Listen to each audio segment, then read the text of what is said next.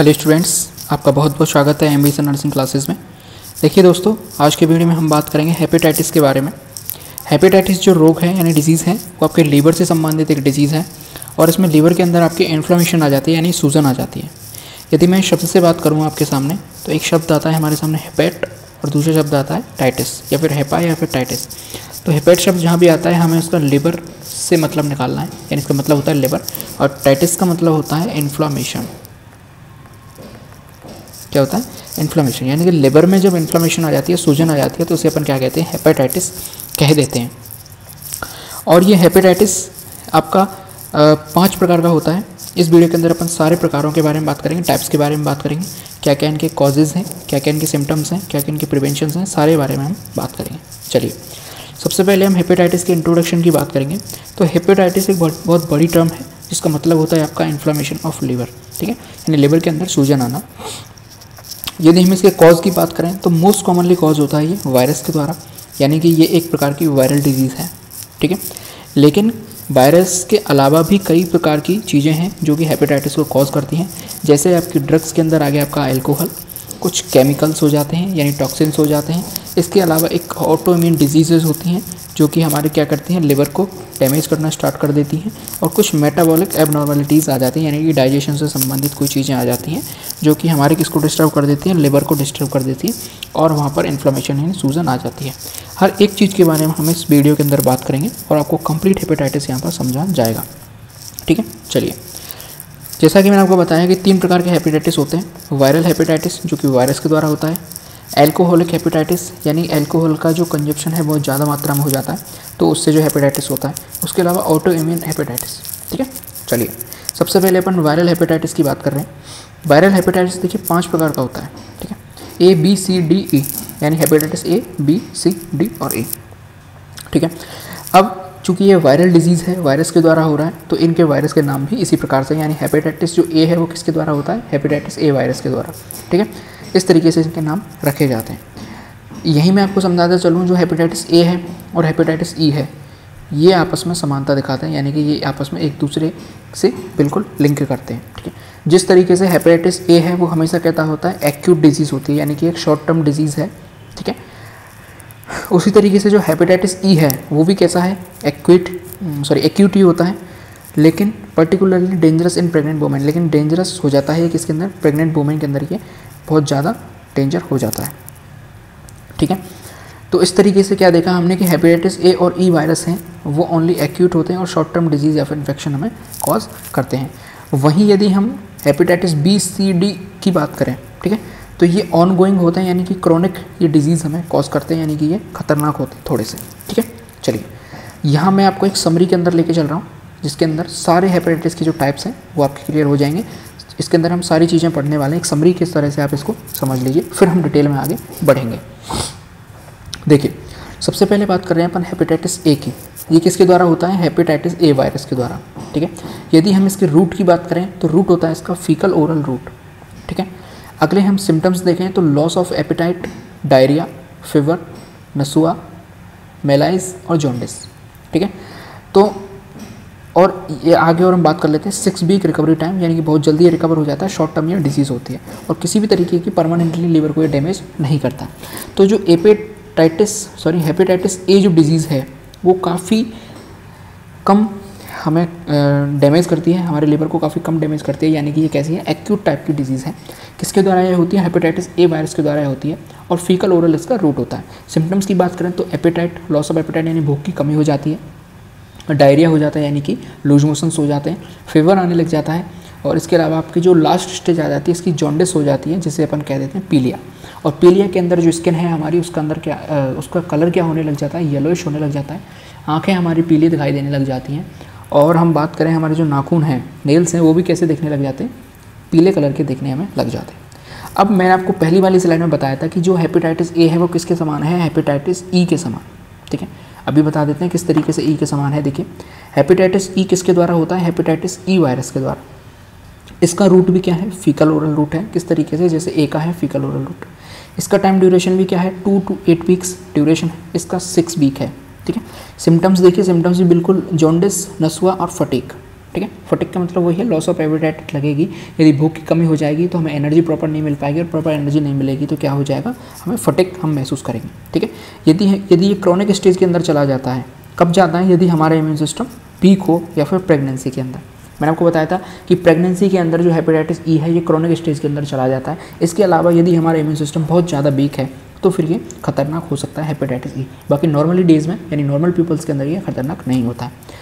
यदि रिस्क होती है तो सिरोसिस की रिस्क होती है या फिर लिवर फेलियर की रिस्क हो जाती है इसके अंदर, ठीक है? किसके अंदर होती है? जिसका इम्यून सिस्टम वीक है और या फिर प्रेगनेंसी वोमेन जो प्रेगनेंट वोमेन होती है, उनके अंदर ये रिस्क रहती है, ठीक है?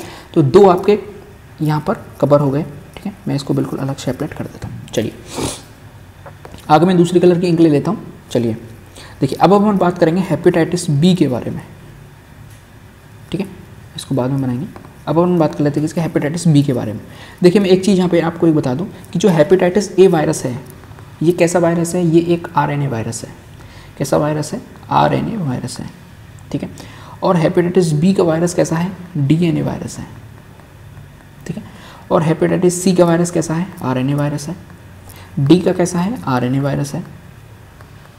डी का कैसा है? आर एन ए वायरस है। और ई e का भी कैसा है sir? R N A virus है। तो यहाँ से आपको एक चीज़ समझ में आई कि यदि हम हेपेटाइटिस बी को छोड़ते हैं तो सारे हेपेटाइटिस के जो वायरस हैं, वो कैसे हैं? आर एन ए वायरस है। ठीक है? राइबो राइबोन्यूक्लिक एसिड जिनके अंदर, इनका जो जीनोम है, वायरस के अंदर वो पाया जाता है, उसे अपन कहते हैं इनका आर एन ए ठीक है? और हेपेटाइटिस बी के अंदर क्या पाया जाता है? डी एन ए पाया जाता है। चूँकि हेपेटाइटिस बी सबसे अलग दिखा रहा है हेपेटाइटिस बी का जो वायरस है, वो आपका जीनोम उसका उसका जो जीनोम है, वो बिल्कुल अलग है। यही रीज़न है कि हेपेटाइटिस बी बहुत ज़्यादा खतरनाक हो जाता है इन सब के मुकाबले। ठीक है? चलिए तो हेपेटाइटिस बी वायरस कैसा है? एक टेन वायरस है। यदि हम इसकी बात करें, तीनों की, यदि हम कॉमन बात करें तो तीनों कैसे हैं? फ्लूड ट्रांसमिटेड वायरस है। यानी कि बॉडी फ्लूड के द्वारा ये ट्रांसमिट होते हैं और बॉडी फ्लूड के अंदर हमारी क्या क्या चीज़ें आ जाती हैं? हमारी सबसे पहले आ जाती है मुँह के अंदर सलाइवा ठीक है? फिर आ जाता है हमारा ब्लड फिर आ जाते हैं हमारे टीयर्स और फिर आ जाता है हमारा सेमन ठीक है, या फिर वेजाइनल फ्लूड तो ये सारी चीज़ें क्या हैं, हमारी बॉडी फ्लूड हैं। और बॉडी फ्लूड के द्वारा ही इनका क्या होता है ट्रांसमिशन होता है। जैसे सेक्सुअल कॉन्टैक्ट ठीक है तो सेक्सुअल कॉन्टैक्ट में क्या होता है, हमारा जो सेमन है, वो ट्रांसमिट होता है, ठीक है। उसके अलावा कंटामिनेटेड निडल्स हो जाती हैं, ठीक है। इसके अलावा हमारे जो टीयर्स हैं इन्फेक्टेड टीयर्स सलाइवा है, यानी कि कोई ऐसा पर्सन है जिसको ऑलरेडी हेपेटाइटिस बी हुआ हुआ है। ठीक है हो रखा है। वो यदि किसी ऐसे के साथ सेक्सुअल कॉन्टैक्ट रखेगा, जिसके अंदर हेपेटाइटिस बी का वायरस नहीं है तो काफ़ी ज़्यादा चांसेस हैं कि वो सामने वाला पर्सन भी क्या हो जाएगा हेपेटाइटिस बी का शिकार हो जाएगा या उससे वो रोगी बन जाएगा, ठीक है? इसके अलावा कंटामिनेटेड निडल्स का मतलब क्या होता है कि जब ब्लड ट्रांसफ्यूशन किया जाता है तो यदि किसी ऐसे व्यक्ति का हेपेटाइटिस बी से ग्रसित व्यक्ति का वो ब्लड ले लिया जाए और उसको फिर इसी ऐसे के अंदर चढ़ा दिया जाए जिसके अंदर हेपेटाइटिस बी नहीं है तो फिर वो क्या हो जाएगा, उससे अफेक्ट हो जाएगा। इसके अलावा, मान के चलिए कोई हेपेटाइटिस बी से रोगी है, उससे उससे हमने ब्लड को लिया और ब्लड को लेने के बाद उस व्यक्ति का ब्लड को हमने फेंक दिया, ठीक है? या फिर हमने उस किसी और को पैक करके रख दिया, ठीक है? लेकिन उसी सुई से हमने किसी दूसरे व्यक्ति का ब्लड लेना चाहा, ठीक है? हमें ले रहे हैं, हमें ब्लड का ट्रांसफ्यूशन नहीं हो रहा है, सिर्फ़ क्या कर रही है? कंटामिनेट निडल्स प्रॉब्लम क्रिएट कर रही है यहाँ पर। तो ब्लड को लेना चाहा तो उस जो निडल है, उसके अंदर क्या थे? पहले से वायरस थे। उन वायरस किसके अंदर चले गए? जिसके अंदर हेपेटाइटिस बी का वायरस पहले से नहीं है। ठीक है? यदि हम इसकी क्रिटिकल कंडीशन के जाने जाने तो सिरोसिस ऑफ़ लिवर को कॉज कर सकता है, या फिर लिवर कैंसर तक भी ले जा सकता है। यदि हम इसके प्रिवेंशन की बात करें तो वैक्सीन अवेलेबल है इसके प्रिवेंशन के लिए, जो कि कई तरीके से वैक्सीन लगाई जाती है। स्टार्टिंग के छः महीने के अंदर बच्चों में लगा दी जाती है। ठीक है? चलिए हेपेटाइटिस सी की बात करें। ये भी किसके द्वारा होता है? हेपेटाइटिस सी वायरस के द्वारा होता है, और वायरस कैसा है? आरएनए वायरस है। इसका ट्रांसमिशन कैसे होता है? ब्लड टू ब्लड ट्रांसमिशन होता है इसका, ठीक है? और किसी भी तरीके से ट्रांसमिट नहीं हो सकता, सिर्फ़ ब्लड टू ब्लड के अंदर ट्रांसमिशन हो सकता है। लिवर सरोसिस भी हो सकता है। लिवर कैंसर के अंदर ये कॉम्प्लिकेशन इसकी बढ़ सकती है। ये कभी कई बार क्या हो जाता है एसिम्टोमेटिक हो जाता है। यानी कि आपको हेपेटाइटिस सी हो रखा है, लेकिन आपको इसके सिम्टम्स कभी भी दिखाई नहीं देंगे। कुछ सिम्टम्स छोटे मोटे दिखाई दे जाते हैं, जैसे कि फ्लू लाइक कुछ सिम्टम्स जैसे जुकाम, बुखार नॉर्मल सिम्टम्स आपको दिखाई दे जाएँगे। लेकिन कुछ बड़े सिम्टम्स ऐसे, जैसे पीलिया या फिर भूख की कमी या कुछ ऐसा आपको दिखाई नहीं देगा, ठीक है? और हेपेटाइटिस सी के लिए कोई भी वैक्सीन अवेलेबल नहीं है। ठीक है? कोई भी वैक्सीन अवेलेबल हेपेटाइटिस सी के लिए नहीं है। चलिए हेपेटाइटिस डी की बात करते हैं।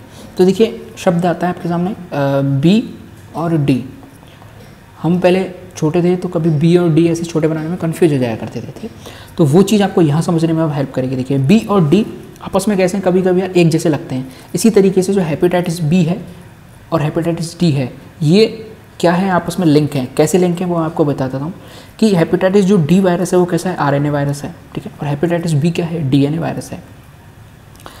अब हेपेटाइटिस डी वाला किसके ऊपर डिपेंड रहता है सर हेपेटाइटिस बी के ऊपर डिपेंड रहता है, ठीक है?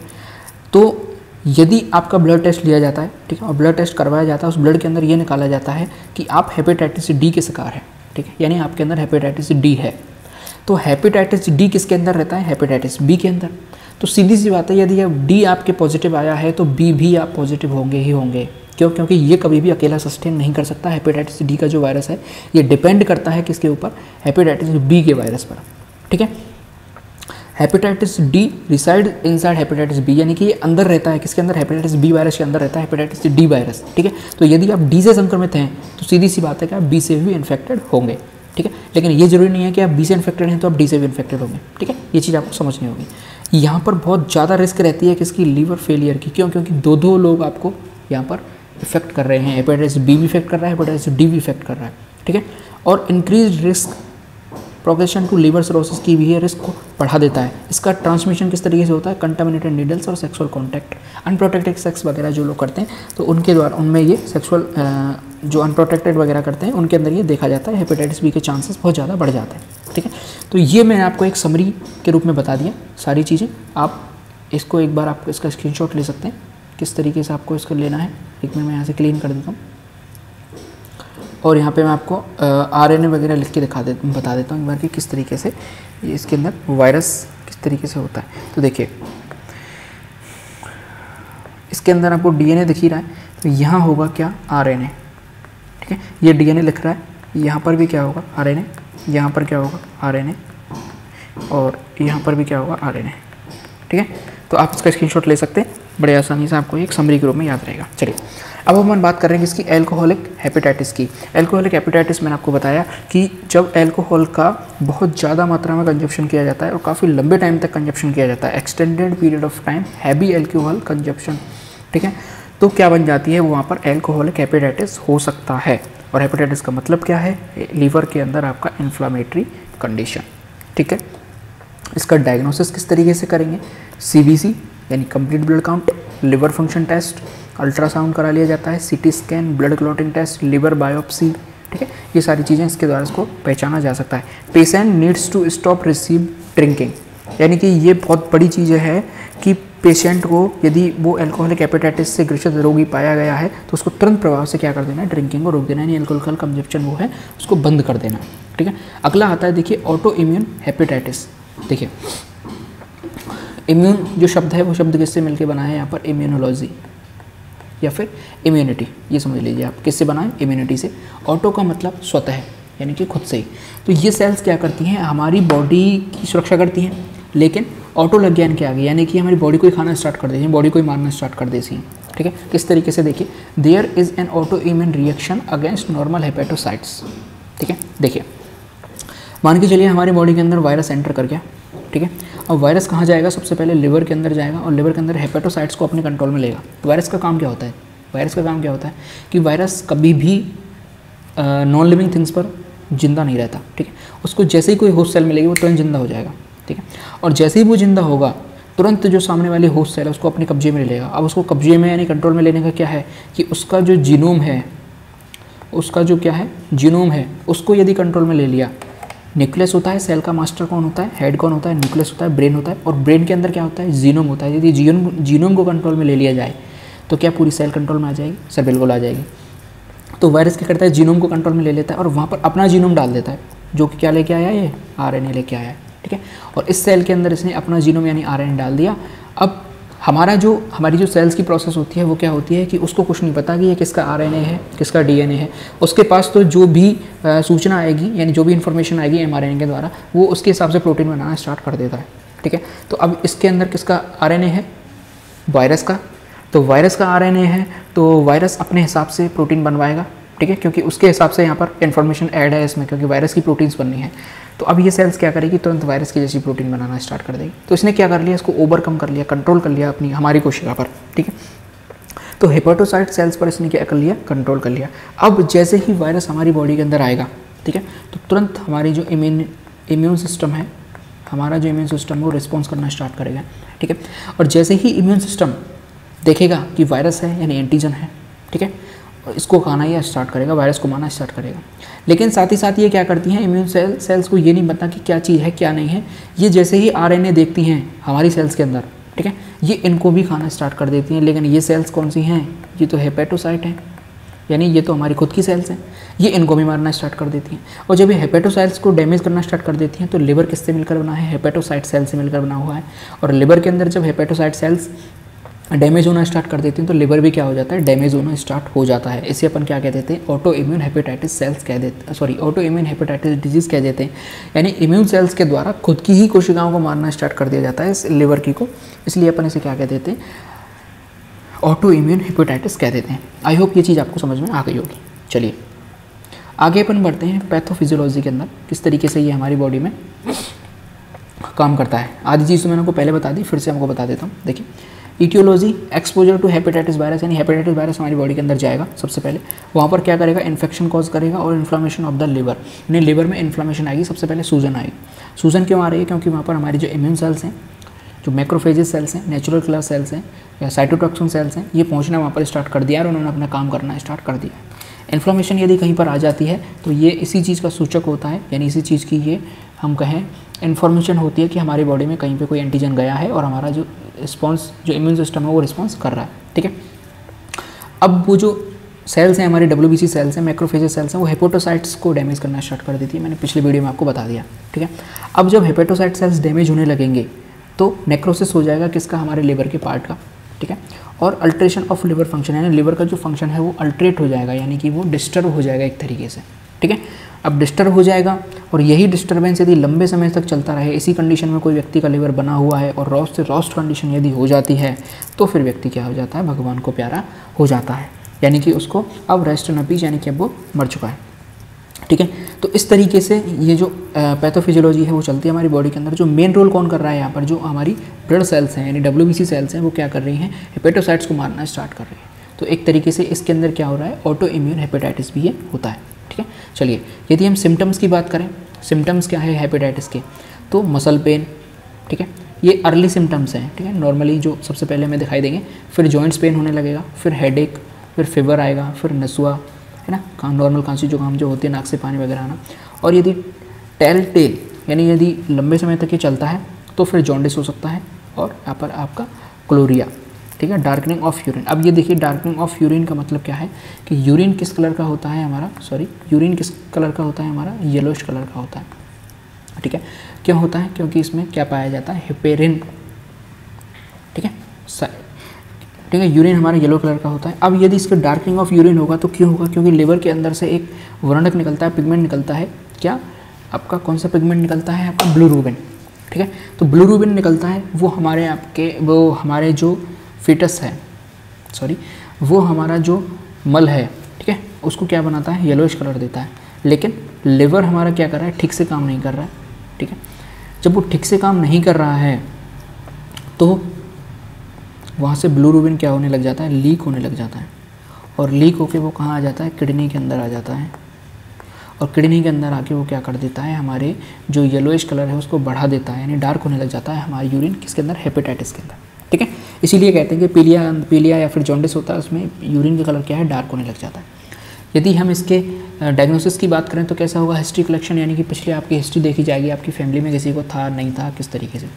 फ़िज़िकल एग्जामिनेशन यानी कि आप बाहर से देख के बता सकते हैं कि इसको हेपेटाइटिस है या नहीं है, जिससे कि आँखें पीली हो जाएँगी नेल्स आपके येलो कलर के हो जाएँगे। तो ये हेपेटाइटिस के क्या है? लक्षण हैं कुछ, ठीक है? लिवर फ़ंक्शन टेस्ट करा लिया जाएगा ब्लड टेस्ट अल्ट्रासोनोग्राफी भी करा ली जाती है, और लिवर बायोप्सी बायोप्सी का मतलब क्या होता है? कि लिवर की जो सेल्स हैं, या फिर लिवर के जो टिश्यू हैं, वो वहाँ से लिए जाते हैं, और उनको फिर माइक्रोस्कोप के अंदर देखा जाता है कि इनमें कौन सा वायरस है। यदि हेपेटाइटिस का कौन सा वायरस है ए है वी है सी है डी है तो उसे अपन क्या कहते थे? बायोप्सी कह देते हैं। चलिए, अब यदि अपन मैनेजमेंट की बात करें तो हेपेटाइटिस ए हेपेटाइटिस ए मैंने आपको बताया बहुत ही नॉर्मल होता है, ठीक है एक्यूट होता है तो इसमें किसी भी तरीके की ड्रग थेरेपी की ज़रूरत नहीं पड़ती है नॉर्मल ठीक प्रकार से हो जाता है, अपने आप ही ये ठीक हो जाता है, ठीक है? पेशेंट को कितनी थकावट है, उस हिसाब से उसको क्या देना चाहिए? रेस्ट देना चाहिए हॉस्पिटलाइज करना चाहिए पेशेंट को। ठीक है? हाई कैलोरी कैलोरीज डाइट देनी चाहिए।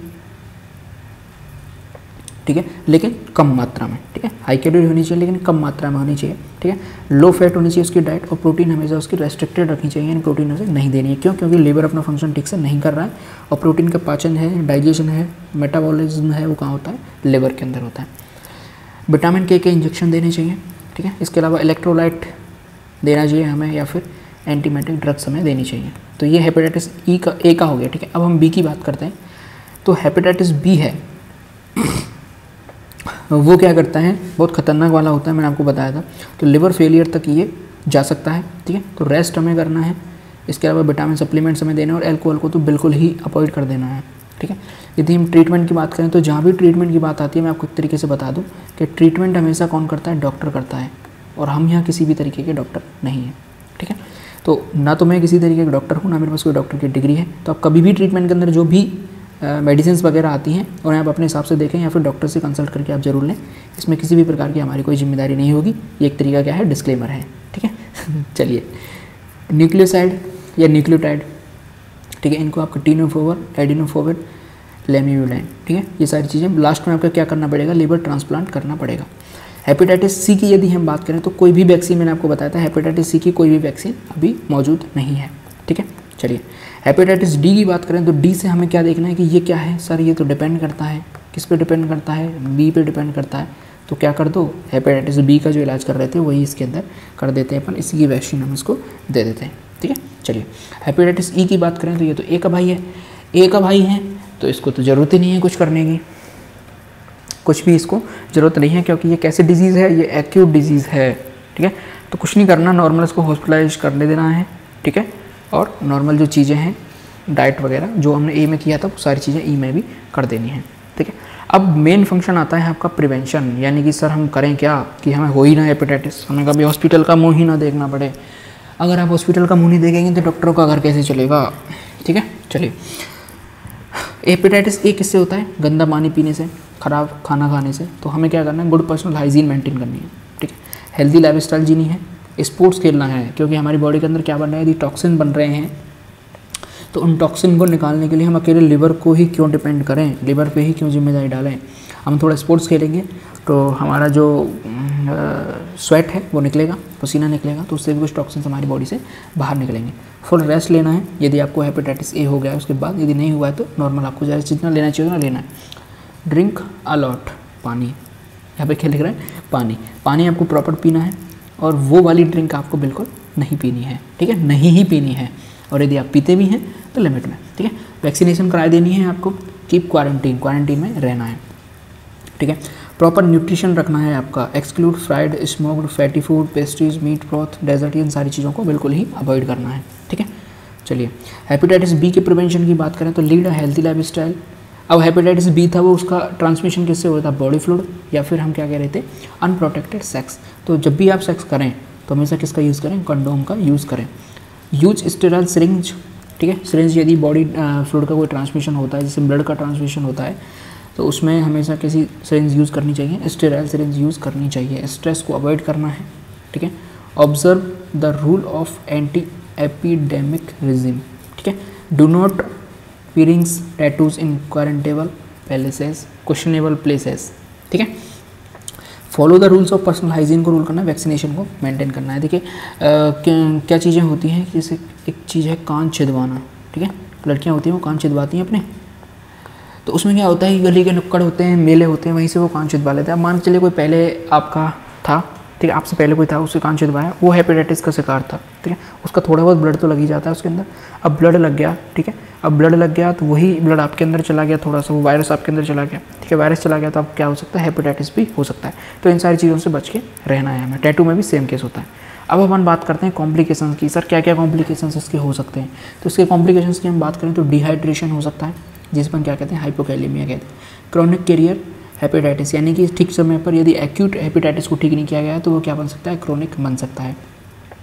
कॉलिस्टेटिक हेपेटाइटिस बन सकता है। फुल मिने फुल मीनेंट हेपेटाइटिस हो सकता है। लीवर सिरोसिस हो सकता है और हेपेटोसेलुलर कैरसीनोमा हो सकता है। ठीक है? ये सारी चीज़ें कॉम्प्लिकेशन के अंदर आती हैं लास्ट में जाके क्या हो जाएगा? आपका लिवर फेल हो जाएगा। कितने नंबर से? ज़ीरो नंबर से। और आप क्या हो जाएँगे? भगवान को प्यारे आरआईपी तो इन सारी चीज़ों में ऐसा ना हो। भगवान करे आप हमेशा खुश रहें। तो इसके लिए हमें ड्रिंक बिल्कुल भी नहीं करनी है। और सारी चीज़ों का हमें ध्यान रखना है। पर्सनल हाइजीन जो है गुड हाइजीन को हमेशा मेंटेन करके रखना है। तो आई होप आपको हेपेटाइटिस जो है, वो बिल्कुल समझ में आ गया होगा। वो समरी वाला जो पार्ट है, चैप्टर है, इसका स्क्रीनशॉट आप ज़रूर ले लें। यहाँ से आपके लगभग सारे की सारी चीज़ें हैं, एक बार में क्लियर हो जाएँगी। ठीक है? कहाँ गया ये ठीक है? इसका आप ज़रूर से स्क्रीन ले लें। और आज की वीडियो में सिर्फ़ इतना ही। अगले में हम अगली डिज़ीज़ के बारे में बात करेंगे। तब तक के लिए बहुत बहुत धन्यवाद। चैनल को ऐसे ही प्यार दें सब्सक्राइब ज़रूर करें। वीडियोज़ को लाइक ज़रूर करें। देश से प्यार करें माता पिता से प्यार करें। जय हिंद।